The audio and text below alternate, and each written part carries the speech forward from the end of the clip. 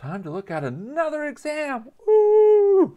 All right, so this is for Calculus 2, also known as Math 166, a classic exam from fall 2023. And we're going to be talking about techniques of integration. So we've got our partial fractions, our trig substitution, all that fun stuff, and a lot more coming up. Seven problems to explore. And of course, as always, if we want to get the credit, got to make sure we put our name on it. So we'll start there. And uh, now, with that out of the way, we're ready to begin. Number one, we're asked to find the following integral. It's a definite integral. You can see we have bounds here. So our answer is going to be a number. And it's the integral of tangent cubed theta secant to the fourth theta d theta. So this is an integral that involves only tangents and secants. And so, so now we know there's sort of three categories that might happen. And they are the following. Namely, we might have integral, and we have stuff with tangent, and uh, times secant squared, theta d theta. That's the first thing that might happen. Or we might have integral stuff with secant, and uh, and then times secant theta tangent theta. Or the third thing is we might have secant to an odd power theta. So those are the three. Now you might say, well, wait, hold on. This isn't any of those. Well, yes, there's one other thing that we have in our pocket that's going to be very handy, and that is to say that secant squared and tangent squared are basically the same. Now, what do we mean by that? Well, we mean the following, that tangent squared plus 1 is equal to secant squared. So in other words, if I see a tangent squared, I can replace it by secant squared minus 1. If I see a secant squared, I can replace it by tangent squared plus 1. So we say, okay, now, of these three, which ones do we like and which ones do we not like? Well, it turns out that actually uh, we like some of these. So this one is a happy thing for us because it's something we can actually succeed in. And so is this one. And this one, no. Ugh. Ugh. Secant to an odd power, not our friend. And to do secant to an odd power involves integration by parts and lots and lots of work. Okay, so which one of these are we in? Well, uh, let's think about it. If you pull off a secant squared, you'd be left with a secant squared. But then secant squared is like tangent, so we can write it as stuff with tangent secant squared. Okay. If we pulled off a secant and a tangent, we'd have a tangent squared, but tangent squared becomes like secant squared. So we can write like stuff with secant, secant tangent, which means double happiness. This is great. So we have two options. Now, one is not superior to the other, but I would say I'd give a slight edge to if you can put it in stuff with tangent to secant squared. I think it's a little bit more comfortable for most people because they're a little bit more familiar with the way that tangent works. Okay, so let's start there. So, idea. We have our integral, 0 to pi over 4, and we're going to pull off a, a secant squared. So we'll do this in a few steps. We have a tangent cubed theta, and then we'll have a secant squared theta, secant squared theta d theta. Now, looking ahead, the reason that we're doing this is that the end term, the secant squared theta d theta, this is going to become our du in just a few moments. But before we get to that, first thing we have to do is handle that secant squared. And this is where our identity comes into play. All right, well, so this is the integral, 0 to pi over 4. And then we have tangent cubed. Tangent we already like. Secant squared is tangent squared plus 1. And then we have our secant squared. All right, now with this in place, we're ready. We're going to do our substitution. And uh, what's our substitution? Well, our substitution is tangent, because the derivative of tangent is secant squared. All right, so we'll set u equal tangent theta. We'll set du equals secant squared theta d theta. And what do we get? What comes out of all of this substitution? Well, uh, all the tangents become u's. That's good. So we have that this is the integral u cubed, and then tangent squared is u squared plus 1. And then secant squared uh, theta d theta is du. And the bounds? Oh, be careful. Remember, these are theta bounds. We want to go to u bounds. See, 0, that's our old bound. Theta equals 0. That's not necessarily our new bound, right? Because we're not, we're back into terms of u. So now, instead of 0, we're going to start at 0. Okay, why is that? Well, because we're plugging 0 in for theta. And tangent of 0 is 0. Okay, now we'll do the same thing. Pi fourths, that's our u bound. Plug in pi fourths. Tangent of pi fourths is 1. Okay, 0 to 1. All right, now, like, wow, this is an integral I like. Yeah, in fact, if we multiply this out, this becomes the integral of u to the fifth plus u cubed du, which is the integral of a polynomial. All right, well, what is that? Well, we, we know the rules. Add 1 to the exponent and divide. So u to the fifth, well, that becomes u to the sixth, and then we divide by 6. u cubed, well, that's u to the fourth, and we divide by 1 fourth. And here we go. It's a definite integral, so you evaluate 0 to 1. Now plug in 0, you get 0. We like 0.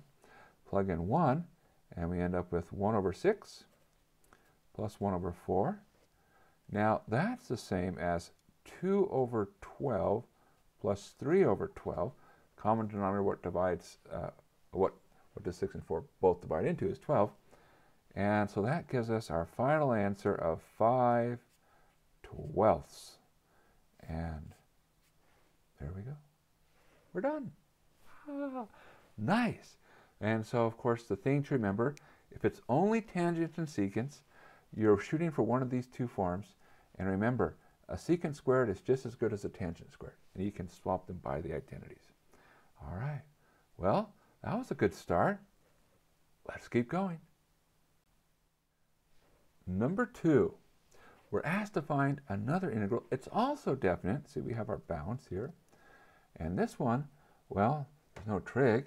It's 16x squared on the top, square root of 1 minus 4x squared on the bottom. Ooh.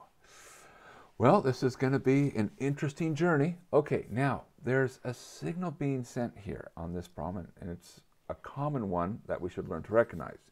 Namely, we see a square root. Now, why do I say that's a signal? When you see a square root involved, well, one of the goals is we really want to get rid of the square root.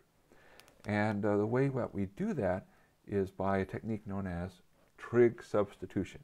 Because, uh, well, we have identities, you know, sine squared plus cosine squared equals 1. Those kinds of identities help us get rid of square roots. Okay, so now we have to sort of remind ourselves how this all works. So let's do a quick review. Quick recap. All right, so if you're talking about trig substitution, they fall into a couple of categories.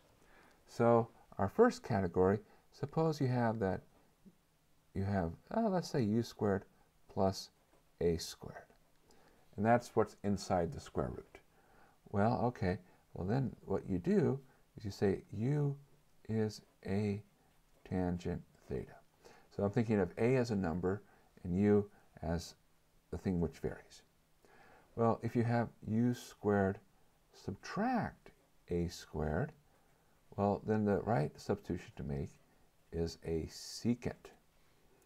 And finally, if it's a squared subtract u squared, then the right substitution to make is the sine. Now, there are some things you can play with. For example, you could also make a substitution here, cosine, But we find sine is a little bit easier to work with because there's a, a little bit less signage going on. And uh, that's another story for another day. And, and why does this all work? Uh, just to remind ourselves. So for instance, we see we're in the number squared minus something that's changing squared. So, so we know we're in this case. When we put in u as a sine theta, we end up with a squared minus a squared sine squared. Well, that's really like 1 minus sine squared, cosine squared, and cosine squared. We can take a square root of cosine squared. Yes! Okay, so this is why it all works. It all comes back to our trig identities. Okay. So, that's our, our little handy guide for us. So, okay, so let's see what we have specifically for us. Well, we see here this is 1 minus, I'll write it as 2x squared. Okay? All right? Because I'm, I'm going to put the 4 and have it be part of the thing that's being squared. Now, we say, well, this 1 is 1 squared. So, a is 1 and u is 2x. So, idea. We're going to make the substitution 2x is equal to sine theta. All right, good, good. Now, let's start figuring out what happens here. Well, uh, taking derivatives, we'll have that 2 dx is the derivative of sine is cosine. All right, well that's going to be helpful. And uh, let's think about our expression here. And uh, so before we did the substitution, downstairs we wrote this as the square root of 1 minus 2x squared. So I'm going to want to write the 16x squared, kind of like x squared, if you will. So I'll think of this as 2x squared. Well, that gives me what? That's 4x squared, right? Yeah, I think so. Yeah. And well, I have 16 here. Well, that's okay. I'll put another 2 and another 2 on the end. So 2 dx. So I'm, I'm taking the 16 and I'm breaking it up into a couple of parts. All right, now there's, uh, if you don't like that, there's other ways to proceed. I'm just trying to make things look like 2x so I can see how to substitute in. All right, now we carry out the substitution. Let's change colors. Ah, I like changing colors. Okay, well, what do we have? We have an integral. We'll deal with the bounds in a second. Downstairs, well, the 2x became sine. So this is the square root of 1 minus sine squared. The 2 is a 2. This 2x squared is sine squared. All right, and now this 2 dx is cosine. All right, good. Progress, progress. Good progress, actually. Now, are we done? Not quite. We have to handle the bounds. Okay, so let's go to the bounds. Let's talk about them. Now, these are x bounds. So what we do is we plug in the x and see what is theta. So we come here. So plug in x equals 0. 2 times 0 is 0. Well, when does sine give you 0? And the answer is sine of 0 is 0. So that says the lower bound is 0. We've been really lucky with the problem so far. This is not always the case that 0 will always stay 0 on substitutions, but, you know, let's keep going with it. Okay, then we come to a quarter. Okay, so 2 times a quarter gives you a half. What angle is sine of a half? Or rather, let me rephrase that. Sine of what angle gives you half? There we go. That's what I, I should have said. Well, all right. So let's imagine we quickly draw the unit circle. And we say, all right, that looks circlish enough. And, uh, well, uh, we put in our axes. Now, sine is the y value. So if I want sine of a half, or excuse me, sine to be a half, that says I'm looking for this angle. Now that's a pretty shallow angle, and we know we're looking for one of our nice angles because one half is a nice number that comes out of sine. So that's what angle? It's pi 6. So we say, oh, okay, so now we're going from 0 to pi 6. Great. Progress. All right. Now, uh, can we clean this up? Well, yeah. See this square root of 1 minus sine squared? We talked about this. This becomes the square root of cosine squared, and that's cosine. Now you might say, oh, Steve, shouldn't it be absolute value of cosine? Well, oh, you're, you're, you're on the ball. Uh, it would be absolute value of cosine, but because we're going from 0 to pi over 6, cosine is positive, and so everything is good. Now what's the punchline? Well, the punchline is you have a cosine downstairs and a cosine upstairs. They combine to cancel. And so we now have this is the integral 0 to pi over 6 of 2 sine squared theta d theta. Great. Wonderful. Okay, already this is looking like a much more palatable integral than what we started with. Well, how do we integrate sine squared?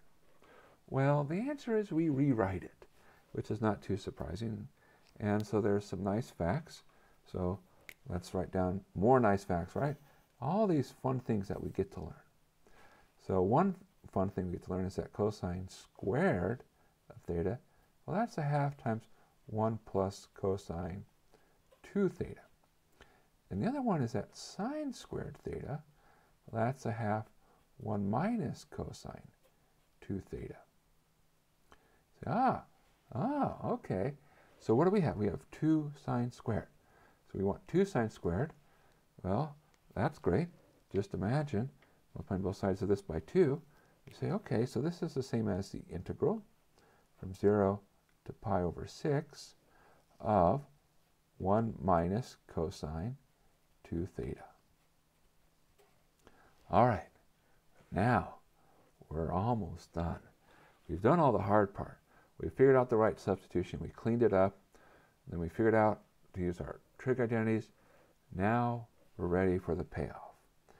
Well, these are things we can integrate. The integral of 1 is theta. the integral of cosine is sine. It's going to be the same positive, plus or minus. So since it's a minus, it's going to be a minus sine 2 theta. You'll notice there's a suspicious gap here. Make sure to account for that inside 2. It's easy to forget that.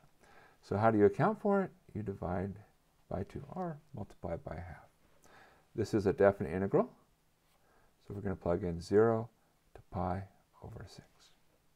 Now, quick note, when you plug in 0, 0 is 0, and sine of 0 is 0.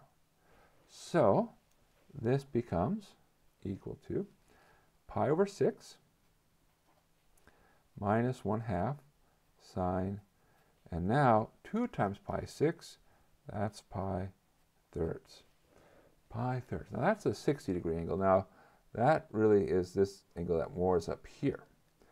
Well, what's the value of sine of pi thirds? And, uh, well, the answer is it's square root of 3 over 2. So putting this all together, we get pi over 6 minus square root of 3 to 2 makes 4. And there we go. We did it! Ah, good for us, good for us. We made it to the end. And uh, yeah, there's a little, lot of steps along the way, but just take your time, make sure what's the right substitution make, clean it up, and then what you end up with is you end up with a trigonometry type integral. And say, okay, well, how do I deal with that? Start using your trig identities. And, uh, and there you go. Life is good. Life is wonderful. Let's keep moving forward. Number three, we have the function f of x shown here as a graph. So we don't know what the function is in terms of, a, oh, here's a, an equation involving x. But we can see the graph of it. And what we're asked to do, you can see here, there's a, a word that jumps out before we've even read it. And it's in both part A and part B. It's the word approximate. So we're not trying to get the exact value of the integral. What we're trying to get is a reasonable approximation using information. In other words, This is numerical integration. All right, so let's start with part A. Use the trapezoidal rule to approximate the integral from 0 to 8 f of x dx using four subintervals. Give your answer as a single simplified fraction. Okay. All right, well, let's talk about what's going on. Now we're going from 0 to 8. Okay, well, we can see that. And it says using four subintervals. And uh, the implication is that it's four equally spaced intervals because that's how the trapezoid rule generally is stated. So we say, okay, we're going from 0, so here's 0, up to 8. So what we want to do is we want to chop 0 to 8 into four pieces. Well, it's not too hard to do that. You can chop it in half and then chop it in half again. And uh, all right, so so we have these four intervals. Now, how does the trapezoid rule work? Well, it more or less says uh, treat things like you would a trapezoid. And you say, okay, how, how do you do that? Well, you would say, I'm going to, let's start with 2 to 4. That's going to be a little bit easier to see. So you imagine, you say, all right, well, actually turns out that's not very exciting, 2 to 4. You imagine there's, let's start 4 to 6. There we go. the problem with 2 and 4 is you see it's the same height. But uh, you're connecting, you basically play connect the dots. And so it's like you're turning it into a function, which is a sequence of straight lines. And the reason we call it the trapezoid rule is that these shapes here are trapezoids. And what we're going to do is say we're going to approximate this area by treating it like it were a trapezoid. Okay, so that's the philosophy. Okay, how do you actually implement it? Well, uh, the, the way you implement it is there's this nice pattern here. And I remember the trapezoid rule, it follows this pattern of 1, 2, 2, 2, 1.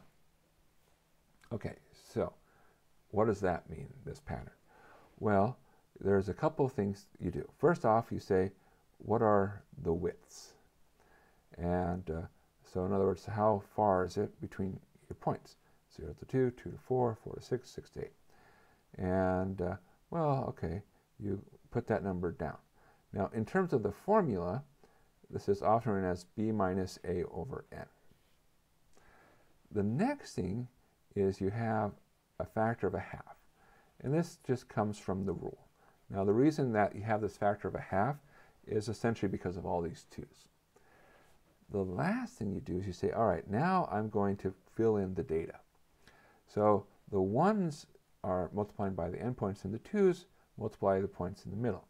So I want to say, well, what is f of 0 plus 2 f of 2 plus 2 f of 4 plus 2 f of 6 plus f of 8. All right, so let's recap. 2, that's our width. Our half comes from the rule.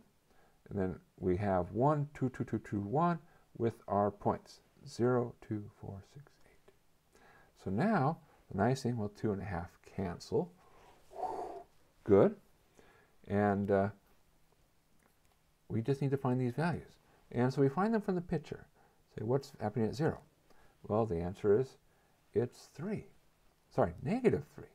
So this is negative 3. And then here at 2, we have 2, and you have to go across, and that looks like a 5. Yeah, that, that because it looks like a 5 because it is a 5. So then we have plus 2 times 5. And at 4, we have, again, 2 times 5. And here at 6, well, what do we have? We have 7 fourths. And we know we have 7 fourths because it says it right there. And say, okay, great plus 2 times 7 fourths. And then at 8, what do we have? Well, we have 17 halves. Again, it says it right there. So we don't have to guess, 17 halves. All right, well, so that's negative 3 plus 10 plus 10. Uh, 2 times 7 fourths is 7 halves. Uh, 17 halves, okay. Now, if you combine these two together, what do you have? We have 7 halves plus 17 halves. That makes 24 halves. 24 halves, also known as 12. So we have uh, 10 plus 10 plus 12 is 32. And then we have the minus 3, which leaves us with 29. All right, so there we go, 29. All right, well, that's uh, the trapezoid rule. Now, part B, Simpson's rule. Now, Simpson's rule is, how, how does that work? Well, I will tell you there's a little bit of controversy over what subintervals means because there's different interpretations. But here, what it means is you're going to take two consecutive intervals, so let's say from 0 to 4, and you're going to say, well, imagine you had these three points. And we're going to find a quadratic that passes through those three points. And similar, here we have these three points. And again, we're going to find a quadratic which passes through those three points. And we're going to use those quadratics to find the area. So Simpson's rule is essentially, it's like, oh, instead of straight lines, think of them as parabolic lines. And it says, well, yeah, that makes sense. Most curves are curvy. You know, that's why we call them curves. Okay, so how do we remember this one? Well, uh, for this one, instead of the pattern 1, 2, 2, 2, 2, 2, 1, it goes 1, 4, 2, 4, 2, and so forth until the end. Uh, whoops, sorry, 4 on the end. So uh, it's 1, 4, 2, 4, 2, 4, 4, 1 on the end. Okay. All right, so here we go. When we're doing this, we have some things that are very similar. Namely, we have the width, so it's the same width. It's the, the width of the interval. Okay, so we have our b minus a over n term. So that's our 2. Same part. And then we're times by a third. Now, where does this third come from? Well, if you think about it, we're having scaling factors of 2 and 4. Well, on average, if you scale half the time by 4 and half the time by 2, eh, ignore the ends. If, what do you have? Well, yeah, you scale by a third, essentially, right? If half the time is 4, half the time is 2, then essentially it's a third. Okay. All right. Now, here we go. So, follow the pattern.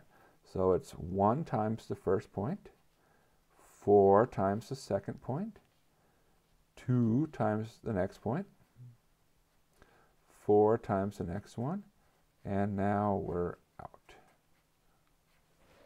Okay. Now, we just have to go through and carefully carry out this computation. All right, so just remember 1, 4, 2, 4, 1. There's our pattern. All right, we get 2 thirds. Hmm. And uh, good news, these numbers are still the same. So f of 0 is still negative 3. And then we have 4 times f of 2, which is still 5. And 2 times f of 4, which is still 5. And 4 times f of 6. Uh, well, that's 4 times 7 fourths. All right. And then we have f of 8, 17 halves. All right. Well, let's see. What can we do? Uh, 4 times 7 fourths. This is 7. And then we have, of course, we have our 10 and our 20 and our minus 3. So, uh, hmm, well, we'll try to fit this all in. They didn't give us a lot of space for Simpson's rule, even though it's a more complicated rule. All right, 2 thirds, uh, 20 and 10 and, and 7. That makes 37. 37 subtract, subtract 3 is 34. So we have 34. And, uh, all right, double 34 because I want to combine these fractions. So that's 2 thirds. That would be 68 plus 17 over 2. Notice that the 2's cancel. 68 plus 17 is 85. So this gives us 85 upstairs and 3 downstairs. Whew, good. You got an answer. Now, there's a quick check. Not that this will be able to say definitively right or wrong, but it will say reasonable or unreasonable. What's our quick check? These are both approximations. If I'm approximating, I'm not going to be exact, so it's okay that they don't match, but they should be close. So if I have one of them is very different from the other, that means I applied a rule wrong, and I should go back and look. So let's think about these. Are these numbers close? Well, uh, since this isn't over 3, what's, what about this one? What would it be? Well, you times it by 3. That would be 87 thirds. Are 87 thirds and 85 thirds close? Yeah, they're only off by 2 thirds. And that's relatively a small number compared to what these values are. Since they're close, that's a good sign. If they hadn't been, whew, panic, go back and revisit. But for now, we found them, our approximations. And let's keep moving on. Number four, we're asked to evaluate an integral, and now no bounds. These are indefinite integrals. We're finding antiderivatives. Cool, cool, cool, cool, cool. Now, what do we have going on here? Well, we have upstairs is a polynomial, and downstairs is another polynomial. It's two polynomials. Well, we call this rational. This is a rational function. And we say, all right, cool. How do you do rational functions? Well, the answer is partial fractions. So this is a partial fractions problem. When you see polynomial over polynomial, it's almost always a partial fraction problem. I'm not going to say 100% of the time, but like 98% of the time. Okay, so let's remind ourselves of some steps. Step zero, maybe we should call it. Do we need to do long division? Because sometimes you do. So before you start doing any fancy partial fractions work, ask yourself if you're ready for fancy partial fractions work. And the way you, you ask yourself, in, in other words, the way you answer that question, is you compare the degrees. Upstairs, what's our degree? Well, the highest degree is 3, so it's degree 3. Downstairs, what's our degree? Well, we have a x squared and another x squared, so it's x to the fourth, degree 4. Now, the good news is we want the degree upstairs to be less than the degree downstairs, and it is. Life is good. If it hadn't been, we'd have to do long division but they're being nice to us. Well, as nice as you can be given that we have to do a partial fractions problem, right?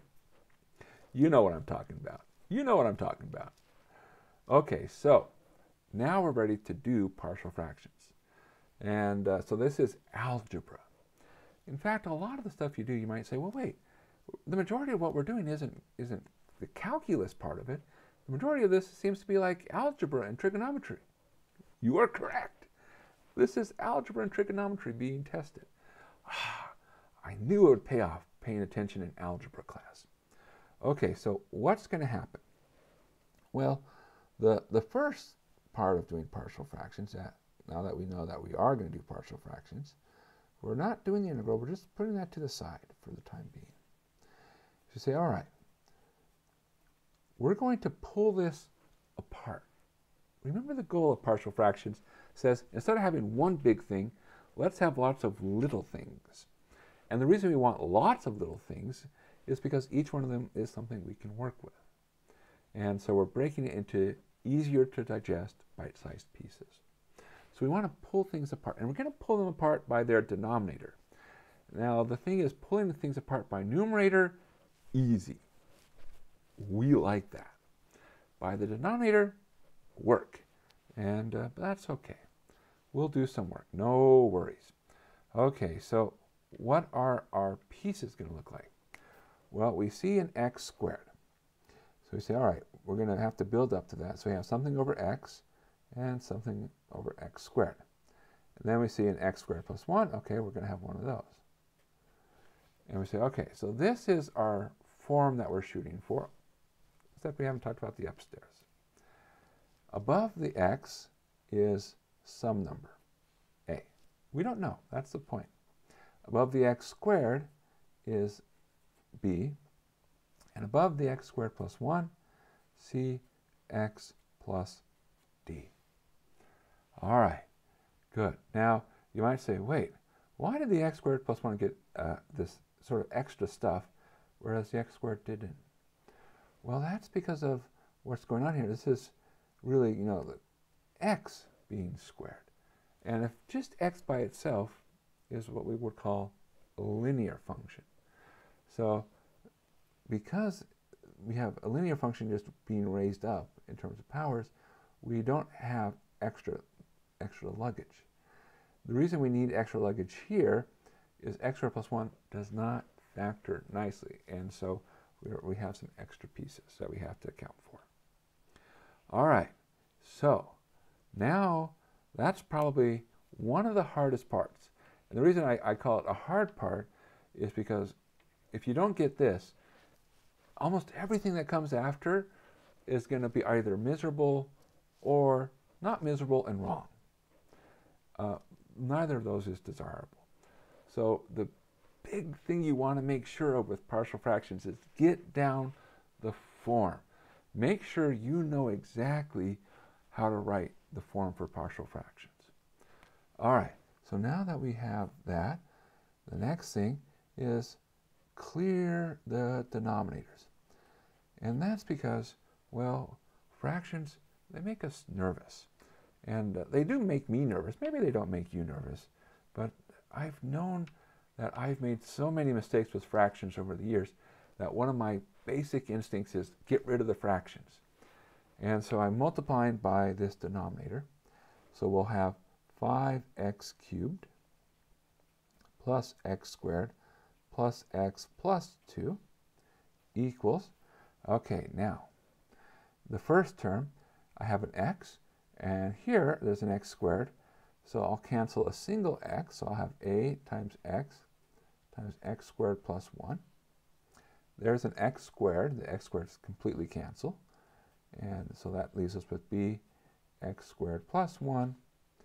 And, uh, well, here, the x squared plus 1 is cancel. And uh, so we'll be left with a cx plus d x squared. Now, there's a couple of ways to go from here. In fact, there's several ways ultimately we have polynomial equals polynomial. And we're saying, okay, what are the right choices for A, B, C, and D so that this works? Now, the first thing I always try is to make good choices. Like, for example, taking a test in calculus. It's a good choice because it's a great way to pass the class. And uh, so what's a good choice here? Zero. Why is zero good? Well, you'll see it'll knock terms out. So let's do a quick plug in x equals 0, and let's see what happens. Well, we'll get 0, 0, 0, 2. Okay, so we get 2 on the left-hand side. Uh, 0, because of that. 0 over here. And here we'll get b. All right. So we come to the conclusion b is 2. We're a fourth of the way done. Unfortunately, at this stage, we're like, ah, we've run out of good choices. Well, that's okay. Even if you run out of good choices, uh, you can still make progress. Now, if you're a wild and crazy person and you like living dangerously, it's not that dangerous, but you could plug in I. And fun fact, you get a 2 4 if you plug in a complex number but it's a little bit dangerous, so we're not going to do that. All right, so at this point we're like, well, I've run out of good numbers, so what we'll do is we'll now do the other popular route, which is say, let's expand and group coefficients. So if we expand here, and I'm going to plug in the fact this is a 2, so we have, this is a uh, x cubed plus ax plus 2x squared plus 2 plus cx cubed plus dx squared. All right. True, true. Okay, now uh, what do we have? Well, this is a plus c x cubed, because those are the only x cubes. Then we have a d plus 2 x squared, those are the only x squareds. And then we have a plus a times x and a plus 2. All right, so we expanded and we grouped. And now we say, hey, polynomial equals polynomial. What has to be true? Well, coefficients have to match other coefficients. So the coefficient 5 has to match a plus c. The coefficient 1 has to match d plus 2. The coefficient 1 here has to match a. And the 2 has to match 2. Well, that would have given us b equals 2. Now at this stage we can like, oh wait, I can quickly get the rest. I see, ah, a has to equal 1. So we'll make some notes here. a equals 1. We already said b equals 2. What about c? Well, a plus c has to be 5. a has to be 1. So 1 plus something gives us 5. So that says c has to be 4. What about d? Well, d plus 2 has to be 1. So what number, when we add 2 to it, gives us 1? And the answer is negative 1. All right. So our great aha is we now say we can replace this portion of the integral with a nicer expression. And so in particular, let's recap where we're at. So our original integral, which was 5x cubed plus x squared plus x plus 2 over x squared times x squared plus 1 becomes. All right, now here's another place where people make mistakes. Make sure you put the right values in the right places. So, a 1 over x, b 2 over x squared, c 4x d minus 1 over x squared plus 1.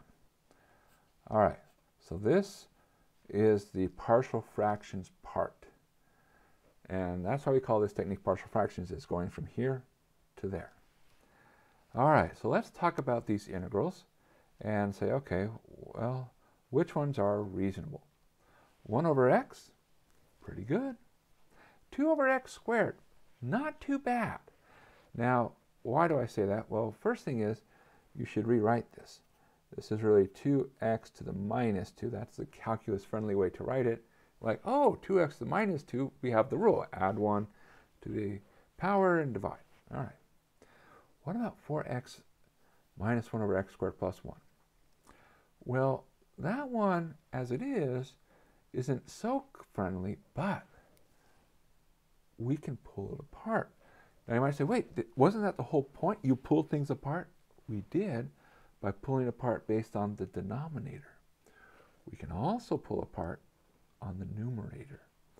So that this part is really the same as 4x over x squared plus 1 minus 1 over x squared plus 1.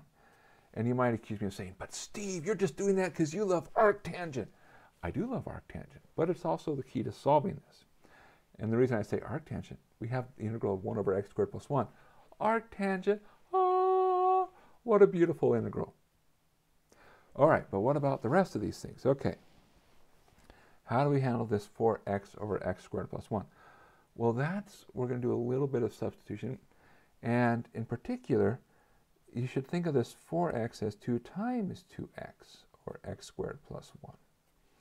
And if you do that, you're like, oh, that's like you have a function downstairs and the derivative of that function upstairs. So this is a log. Okay, so let's put this all together. What do we have? Let me move this up a little bit here. And what do we have? Well, we have that I'll, I'll rewrite this one more time. 1 over x, 2x to minus 2, 2 times 2x over x squared plus 1 minus 1 over x squared plus 1 dx. So we have natural log of x. That's the integral of 1 over x. Here, you'd add 1 to the exponent and become minus 1, divided by minus 1. That makes a minus 2. x to the minus 1, you put an x downstairs. Uh, 2, and then we said, hey, function derivative, when you see function downstairs, derivative upstairs, that says natural log of the downstairs. 1 over x squared plus 1, classic, arctangent of x. And because we want all the points, it's an indefinite integral, plus c. And there we go. Ta-da! Ah, this one was a workout, but we made it. We got through. Okay, good, good. Let's keep going. Number five, we're asked to find the following two parts. So they're both integrals. Let's start with part A. The integral of log of 3x over x to the fifth dx.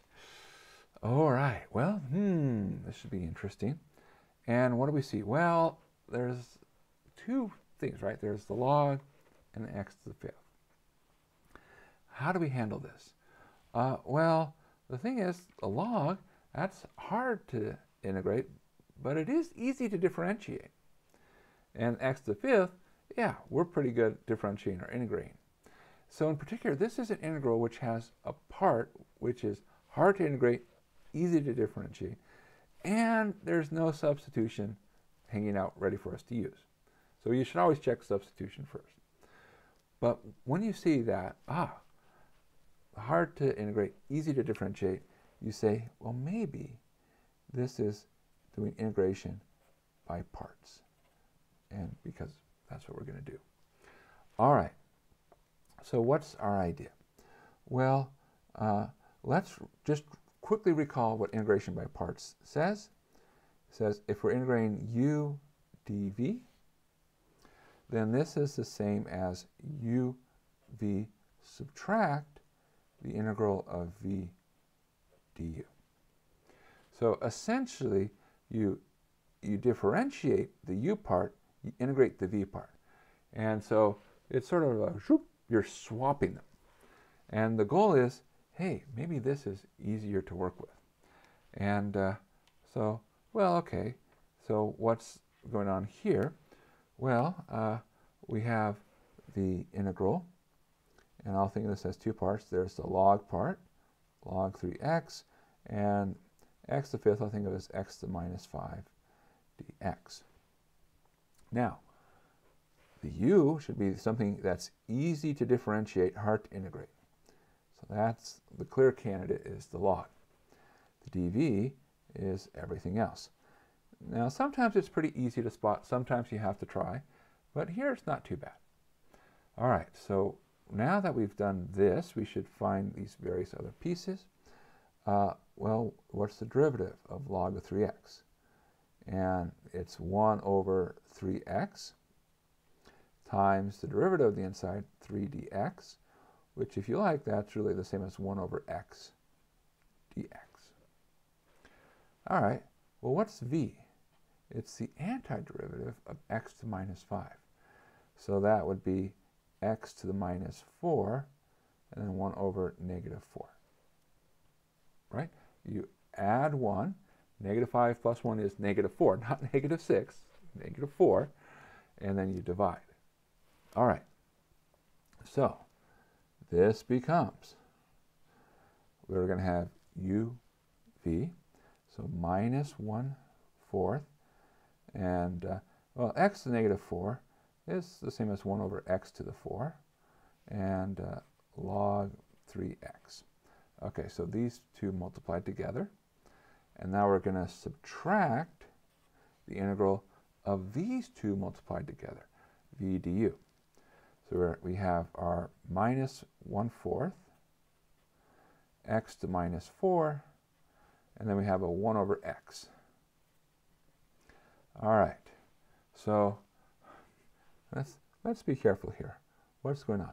Well, first off, we can minus minus, two wrongs, make a right, plus, and uh, all right, so then we can also, and uh, sorry, as I pause for a second to write the front here, pull out the 1 fourth. Now x to the minus 4, 1 over x to the fourth. And then I have a 1 over x to the fourth, and a 1 over x is 1 over x to the fifth, which means that this is integral of x to the minus 5. Yeah? You could also think of it as 1 over x is x to the minus 1. x minus 4 times x to the minus 1 would be x to minus 5. You add the exponents. Okay, well, we integrate that. Yeah, it's the same thing that we just did over here. So this part will become minus 1 fourth x the minus 4. So we have, and if we want, we can clean this up. So this is a minus log of 3x divided by 4x to the fourth. Then here, 1 fourth times minus a fourth would be minus 1 16th. And then x minus 4 is an x to the fourth downstairs. And don't forget, plus c. All right. And there we go. Okay, good, good. Now, next part. Okay. Part B, integral of arctangent of x. Ah, and they gave us a hint. The derivative of arctangent is 1 over 1 plus x squared. Ah, come on. Did we need that hint? That's emblazoned on our hearts. We know that. It's a part of us now. But okay, all right. So we know the derivative of arctangent. And in particular, arctangent is something easy to differentiate, hard to integrate. So we're like, oh, let's channel our part A. So it's also by parts. So we say, okay, in that case, what would our parts be? Well, this part, easy to differentiate, hard to integrate, is our u. And that leaves dx is dv. All right, well, they told us what the derivative is. du is 1 over 1 plus x squared dx. And then the integral of 1 is x. Okay, great. So what do we have? Well, this becomes uv, so uv x arctangent of x minus the integral of v du. So minus the integral of x over 1 plus x squared dx. And now you might say, okay, well, how do we integrate this? Well, we can do a substitution. And you say, well, wait a second. The derivative of 1 plus x squared is 2x. It's almost like the upstairs. And we say, yeah, sure, just put a 2 there. You say, you can do that? Well, you can if you balance. So, for example, we can put a half in front. The half and the 2 cancel out. And now we're like, ah, we see function downstairs, derivative of that function upstairs. We say, okay, so this becomes x arctangent of x minus a half log 1 plus x squared, right? Function, derivative becomes log. And so, because we want the points, we add plus c, and we're done. Ah, good times, good times. It's always great to see arctangent. I love it when there's an arctangent. All right, well, let's keep going. A few more problems. Number six, we're asked to use shells to find the volume obtained by revolving the curve y equals 1 over x squared plus 2x plus uh, x squared plus 2x minus 3 between x equals 2 and x equals 4 around the y-axis. So they didn't tell us, but this is probably the curve that they're after. Now, will this help us solve the problem? No, but that's okay. They, at least they wanted us to see what the picture looked like. So what do we have? We have the area between 2 and 4. And so we're taking that portion. I'll go ahead and, and shade it in here. Doo, doo, doo, so this problem now becomes a little bit more shady. Ah, pun. All right. That's right. You know, if you've been going all the way through here, you, you deserve a pun somewhere in the middle. Okay, so there's our region, and we're going around the y-axis. Okay, and so we say, okay, great, no problem. So we think of our slices, and we spin, and yes, indeed, they will be forming shells. So, okay, great. So, recall. How does shell method work? So shell method says the following. What we're going to do is we're going to think of what's the, the shape of one tiny uh, shell. You need a couple of things. You need a 2 pi, and then you need a radius. And the radius is this distance from where we're spinning. You need a height, and the height is this distance from top to bottom there. And then you need a thickness. Now here, the thickness, you see it's not paper thin, right? There's this little tiny amount, which we usually call dx. That's the thickness. Now that's one shell. Add them up. So integration is all about adding up little pieces. Okay, so for us, we say, ah, well, we know where we're going from, 2 to 4. The 2 pi is the 2 pi. The radius, well, if I'm at an x, how far is it to the y-axis? It is x units away. So x is how far you are from the y-axis. What's the height? It's the height to the function. So 1 over x squared plus 2x minus 3. What's the thickness? It's dx. All right, cool, cool, cool, cool, cool. All right, well, let's go ahead. Let's pull out the pi, and uh, let's put the 2x upstairs. The reason I pull out a pi is it's such a weird number to work with. We'll just leave that on the outside.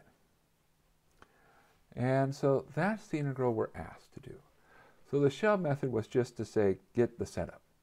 But now we still have paper left. What are we going to do? Well, we're going to integrate this. And we start by saying, well, what kind of integral do we have? This is a rational function, right? Polynomial over polynomial. Aha. So, what are we going to need? Partial fractions. Cool. All right. So let's do a little side exploration. So you have 2x over x squared plus 2x minus 3. Now, can you simplify x squared plus 2x minus 3? In other words, does it factor nicely? Well, it, it probably does. Um, otherwise, there's no partial fractions involved in this problem.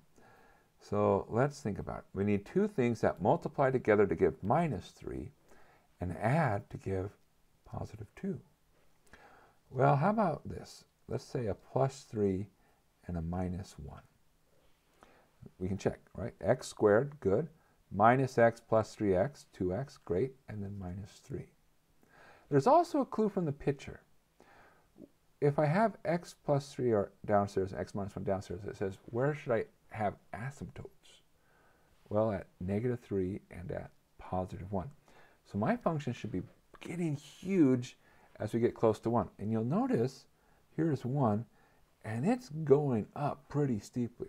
So blowing up at 1, yeah, that agrees with our factoring. Cool. Good for us. All right. Well, now that we have that, we say, okay, well, that's what we're trying to do partial fractions with. And we're pulling it apart on the denominator. So it's something over x plus 3 and something over x minus 1. So we say, all right, there's an A and a B. Okay, so at this point, we clear out our denominators. So we're going to multiply everything here by x plus 3 times x minus 1. And when we do that, what will we have? Well, we're going to have that 2x, because everything's been cleared out, is equal to a. The x plus 3's cancel, so it times x minus 1. And then the x minus 1's cancel, so it's uh, x plus 3. Okay, now what should we do? Well, let's make some good choices. What are some good choices? Well, good choices are things which get things to cancel. So suppose we wanted to cancel the x minus 1. What would you pick? 1. Okay, so at x equals 1, we would get that 2, 2 times 1, is a times 0 plus b times 4. So that tells us that, hey, b is a half. All right. Uh, what's another good choice? What cancels with x plus 3? Minus 3. Okay, so at x equals minus 3, 2 times minus 3 is negative 6. All right, minus 3 minus 1 is minus 4. So minus 6 is minus 4a. So that says a, well, minus minus cancel. That's nice. Uh, 6 over 4 is 3 over 2. All right, so there we go. A is 3 halves and B is 1 half. Okay, so now let's get back to our regularly scheduled problem. So this was all side work to say, all right, this integral now becomes pi integral 2 to 4 of, well, we're going to have uh, a, so make sure you get the right number in the right place. a is 3 halves. So we'll have 3 halves, 1 over x plus 3, and 1 half,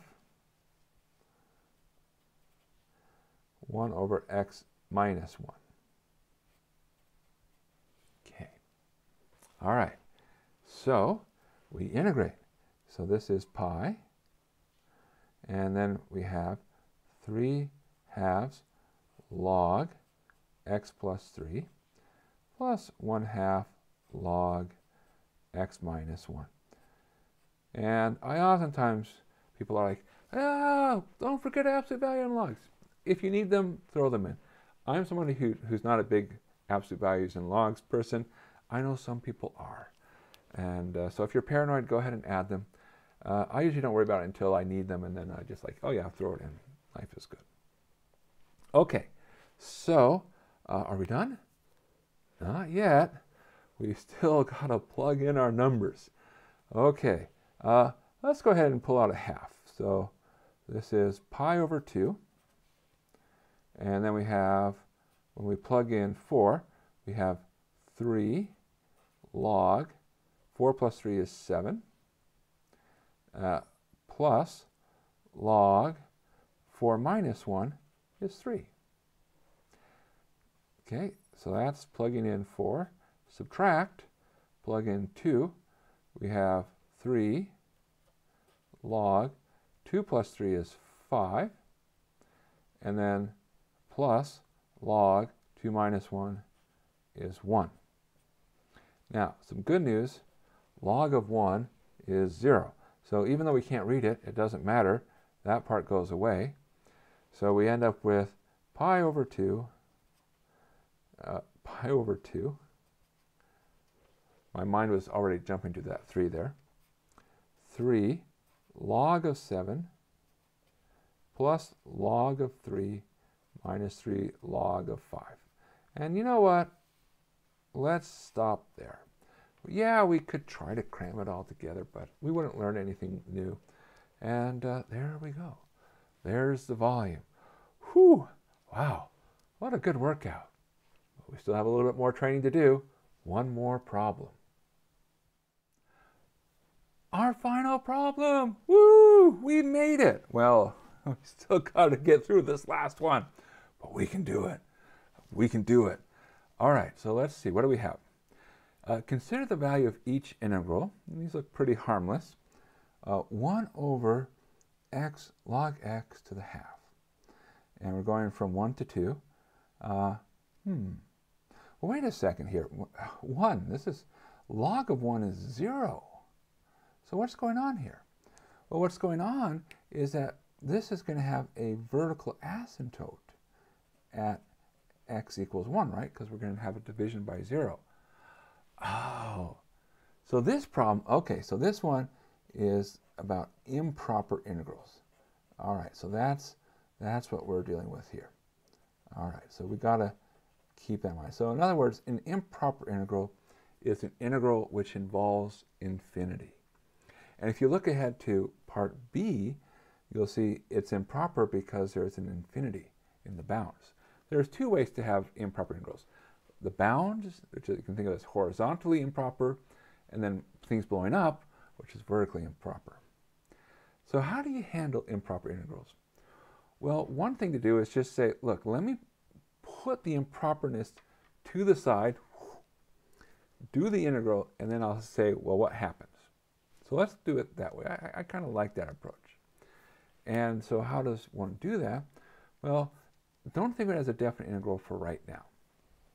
And so we'll integrate 1 over x log of x to the half dx. And I say, all right, well, how would we go about this integral? We see a log x. We also see a 1 over x right there. This is signaling to us think substitution. So in particular, it's saying think the substitution of u equals log. So then du would be 1 over x dx. And if you carry out this substitution, well, the 1 over x dx, that's our du. And then this log x downstairs, that's 1 over u to the half. Or if you like, that's really u to the minus a half du. All right, well, u to the minus a half uh, would be what? The integral of that. You'd add 1, negative a half plus 1 is positive a half, divided by a half. So that becomes 2 u to the 1 half.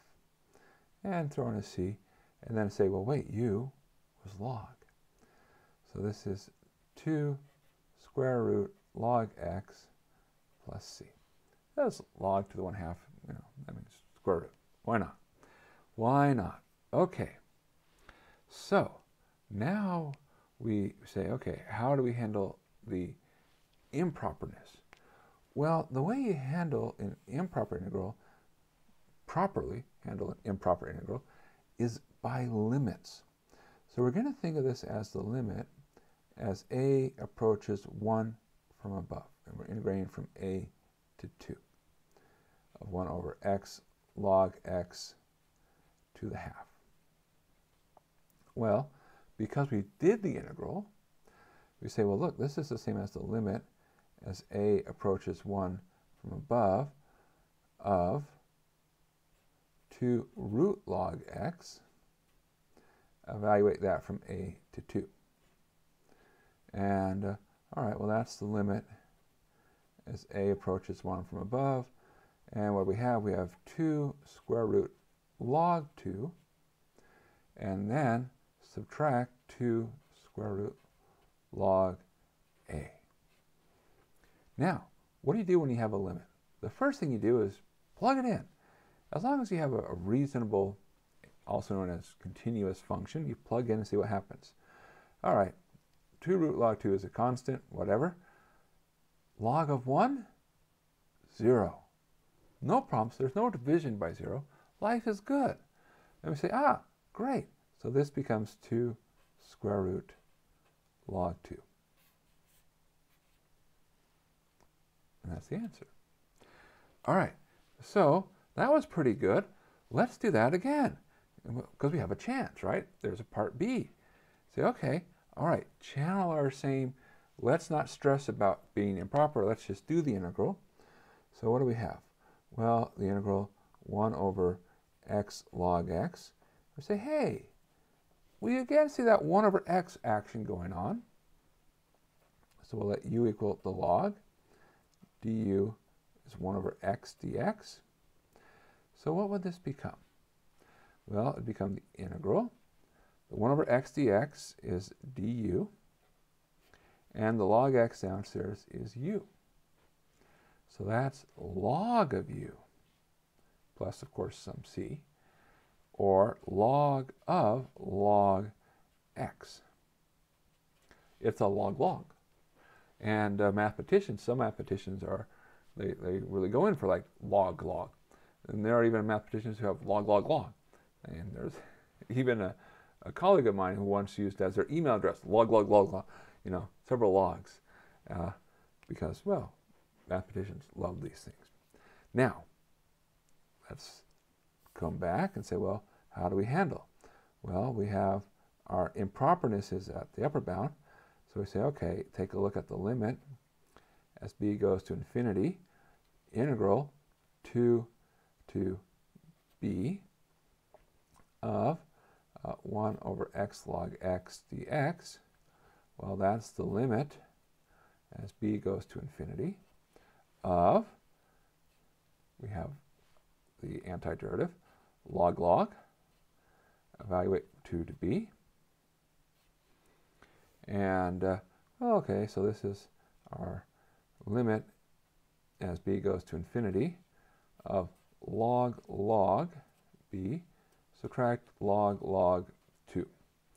Now, the log log 2, that's not our concern. Let's think about this and just sort of work your way reason. What do we know? We know b is getting large because that's what we're saying. b goes to infinity. So b is getting big. What happens to log in the long run? As your input gets big, log gets big. Very slowly.